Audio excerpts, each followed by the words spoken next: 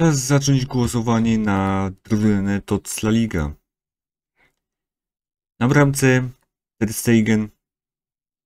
Chyba to nie ma co dużo mówić o nim. Najlepszy bramkarz w tym sezonie. Środek obrony Militao, Kundel. Powinien być Araujo, ale niestety jej stwierdziło, że on nie zasługuje na Totsa. Moim zdaniem to jest kompletna bzdura.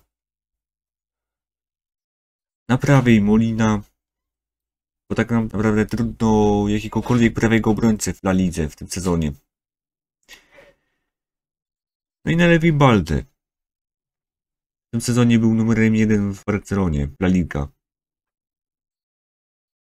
Środek pola to Pedri, Valverde, no i Modric, mimo wszystko. Ewentualnie można tutaj dać De Jonga, ale moim zdaniem Modric był lepszy. I co do ofensywy? Vinicius, Lewandowski, chociaż ma gorszą dyspozycję strzelecką niż w poprzednim sezonie, to i tak on jest najlepszym strzelcem La Liga. I Benzema, najlepszy strzelec Realu Madryt.